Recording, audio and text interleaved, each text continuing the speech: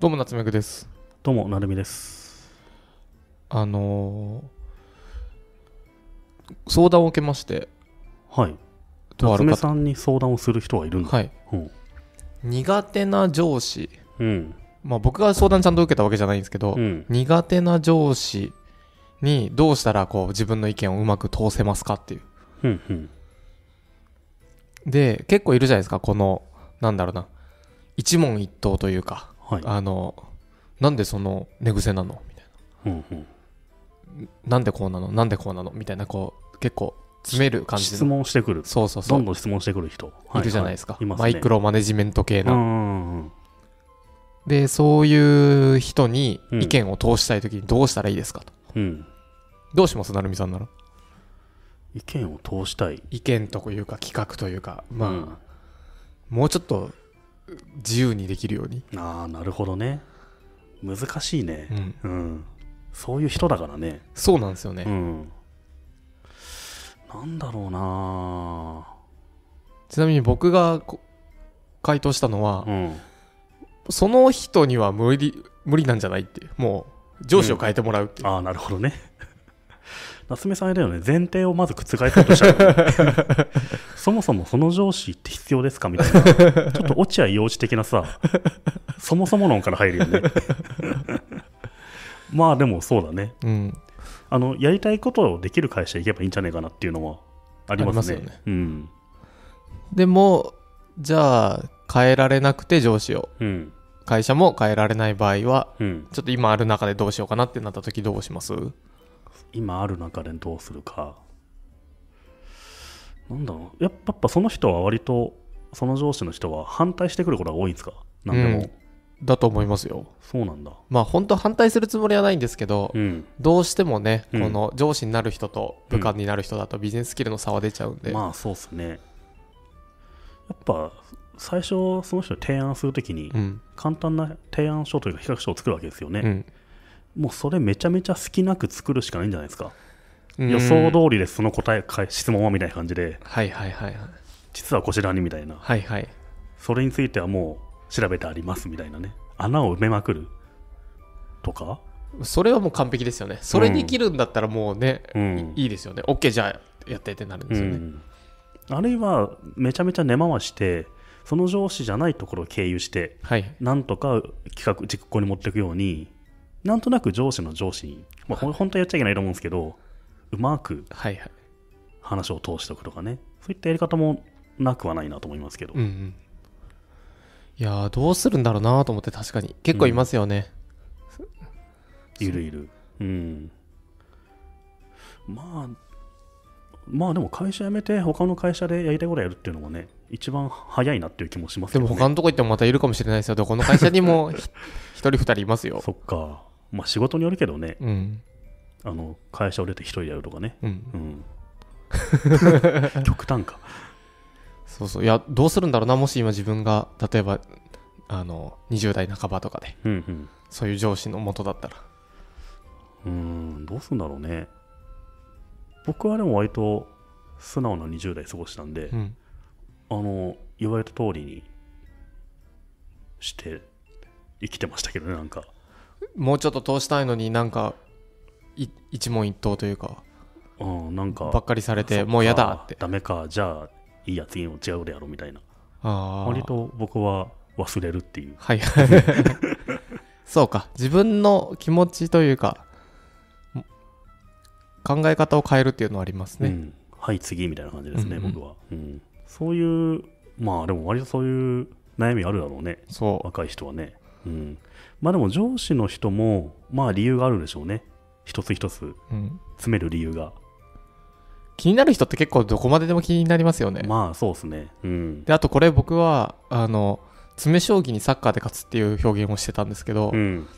その将その戦いって絶対、あの後手側が負けるというかはいはい、なんでこうなってんの？ホゲホゲです。ホゲホゲって何、うん、いやホゲホゲホゲです。それってさってやるうん。とどこかで絶対もうそうですね。ほころびが出るから、ほころびが1回でも出たら負けゲーなので、うんそうなった時にそんなことよりこっちのサッカーはどうでしょうみたいなこの盤上でこうやってやってる時にはいはい。ガシャーンってボール持ってくるみたいな。なんか全然違う角度から行って、うん一問一答から逃げないとダメだろうなと思そってます。れはあるね。なんかその上司のひタイプみたいな人は結構いるんだけどちょっと古いと思うんですよ今はい。もうその部下の人のね提案が何であれ形にしてみなきゃ分かんないですからねうんうん。もういいから OK 出してやらせてダメだったらじゃあ次からはやめようこれは失敗することは分かったねっていいんじゃないかなと思うんですけどね、そう思います。うん、失敗する前にこれは失敗するからって詰めてもねしょあんま意味ないんですよね意味ないですね。うん、何が大事か、まあ、それやるとちょっと人2人ぐらい死ぬんじゃないみたいなのは、ちょっとあの、あね。やる前に止めなきゃダメですよ。うん、ちょっとね失敗してもさあんまりそんな実害なければね、うん。失敗を糧にした方がねいいことは多いなっていうふうに最近思いますけどね。うん。そうですよね。うん、だから、ケンスーさんが言ってて、僕も大好きな言葉で、許可より謝罪っていう、あそうですね、うん。うん。僕は結構まそうだと思いますよ。結構僕の心情というか、うんそうですねあの若い人には失敗をさせた方が後々いいんじゃないかなと思いますけどね、うん。あんま失敗しないようにあの修正修正させていくとね人にもよりますけどね。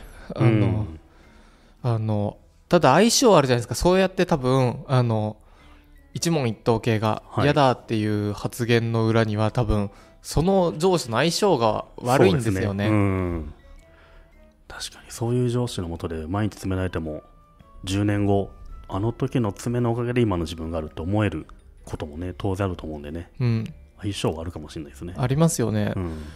僕は結構最初新卒の時の上司が、あの、そうやって詰める系だったんですけど、うん。全く多分今でも、うん。今もう、今上司になっても、うん。あのその人が、うん。もう一回同じことをもう一回詰められる気がする。何も成長しないじゃん、気がするな、うん、ら僕の場合は上司が変わって解決しました。あそうな変わってっていうのは、あうん。の変更されました。ああこいつはダメだと。脱目使えねえからチェンジでって言って。であ何でもいいよっていう人が上司になって、うん。あ何でもいいんだ。じゃあ何でもいいことやろうって言って。まあそれもある意味相性だね。うん、うん。それはありますよねただそうやってねあの問い詰められながら仕事をできるっていうのも若いうちだけなので、まあそうですね。それはそう。体験しておくのはいいかもしれないですね。だんだんそれやってもらえないですからね。僕らがもうないですよね。ないでしょうね。やってもらうときは相当やばいことやってますよねそれ。なんか。それやっていただく前にクビなんじゃないですか。そうですよね。うん。僕らだとねもう、ん。なんで手鏡でパンツ見たの？みたいな。なんかもう、あの、手鏡でパンツはもう詰めるとこじゃないですけど、なんで？って。言って、いや、ちょっと見たくて、なんで見たかったの？みたいな。なんか多分ね、うん。だから若い人の特権であるかもしれないからうん。楽しむのもいいんじゃないかと思うんですけどね。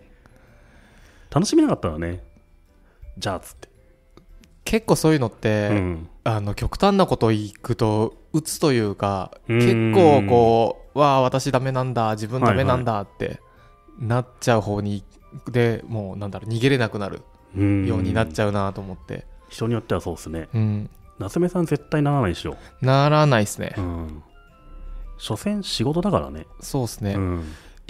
今僕ならないって言いましたけど、うん。確かに僕が新卒の時はちょっとだけあどうしようっていうのは結構その中なりになってましたけどね。本当はもっと多分、あの追い詰めるじ追い詰められてたんでしょうけど、うんうん、多少なりともなって夏目さんなりにもうん。へこむ部分はあったんだ、ありましたね。で何してもダメみたいな。うん。困りますからね。どうしようもなくなる。うんうん。頑張りますけど。うんうん。でもそれってみんなそうだよね。うん。うん。大抵の人そうだからうん。まあいいんいいんじゃないみたいな感じになるけどね。うんでも成美さんが言ってたその上司側がうん。あの古いっていうのはすごくそうかもしれないですね。ちょっと古いですよね。ちょっとね。うん。今はね何でもやらせてちょなんか出る直前のところまで行ってうん。は、うん、はいいと思うんだけどね、うん。あとはもうやって、あの、あ、ミスったねっていいんじゃないですか。そうそうそうそう、うん、で同じミスをしないっていうのがねあ、それ大事。あれば別に1回目のミスはね、うん。これ誰でもあるからねそうですね。いいおじさんでも当然あるわけだしあるあるすごい偉い人でもあるわけだから偉い人って多分えあの偉い人というか年齢上がった人ってそうやって実行するフェーズじゃなくなる人たちが多いだけでう、ん。同じようにやらされたら、うんあのね同じことミスしますよね多いや、分ね絶対そうでしょ。うん。そういうことはやっぱあるからね。ありますよね、うんこれ例えば1ヶ月上司と部下入れ替え体験しても、うん多分ミスしますよ上司ミがスするし、あと作業遅いし。遅いですねどうしようもないよね。ねうん。そういやそういうねあの悩みを持ってる方が結構自分の周りで、あ、そうなんだう。んうんいた時に、まあ、もし自分だったらどうするんだろうなと思ってそうだね。うんうん。それは困るよなだからあのそうだねって思って 特になんか解決案はなかったんだないですね。ないんだ。まあ、ないよね。ないうん。どうしようもない上司を変えてもらうがああの相性そういうのってあのこの人とかはやりやすいみたいな人は絶対いたりするんで、うんなんかそっちの人に上司変えてもらうとかが早い気はしますけどね上司変えてもらうっていうのはあるの？普通。えそんなキャバクラみたいな制度ないですか？チェンジとかあんの？あればいいけどね。あるんじゃないですか？あのえ例えあばバズフィードだってないですか？ちょっと成美さんの下では働けないですみたいな。あの大地さんにしてくださいみたい あんのかな？だからそういう申請があんのかね？な申請フォーマットがあればいいけどね。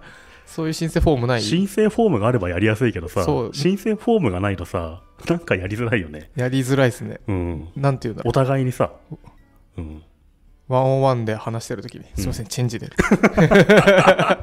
でもそれができる会社っていい会社だよね。そうっすね。ん。絶対いい会社だよね。そうそうっすね。うん。それが言えないからどうしようってなってんの、うん。いやでも例えば、今どっかのスタートアップ企業で、はい、うちは上司チェンジ制度がありますだったら、それがなんか温度見ない記事があって、いいじゃんってなるよね。うん。それはどういうことですかって言ってワンオンワンの時に、うん。あの相性合わないなと思ったら。そうそう。チェンジできます。年3回まで使えますみたいなさ。ああそれ面白いですね、うん。あの部下側が発動できて上司は変える、なんだろう。そうそう。拒否権ないです拒否権ないの。それよくないですか？それ面白い。うん。面白いけど僕がその経営というかうん。会社をやってた時にうん。感じたのはすそれでうまくいくかな？チェンジは年3回使えるんですけど、はい1回使うたびにはい何かしらが起きるんですよ。あ責任が増していくというかなんか。あはいはいはいはい、うんそういうのはいいかもしれないです、うん。いやそれ面白いですねう。ん、うん。ただチェンジできるのは楽でいいなであとチェンジするものだよみたいなうん、そうですね。そうなのでそのチェンジ機能、チェンジ機能をうん、どっかの会社で入れてほしいですね。うん